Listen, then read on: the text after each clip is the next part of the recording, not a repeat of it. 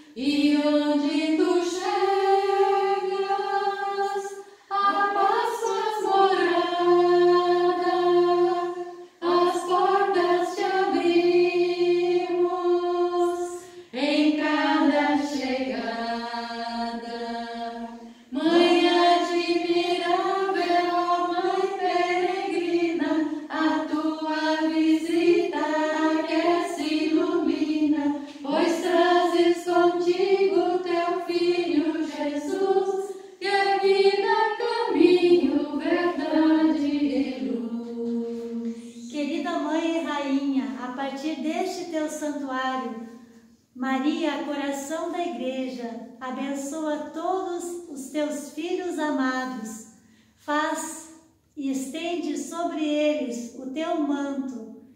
Abençoa cada um e suas famílias, protegendo-os de todo mal. Ó minha Senhora, ó minha Mãe, eu me ofereço toda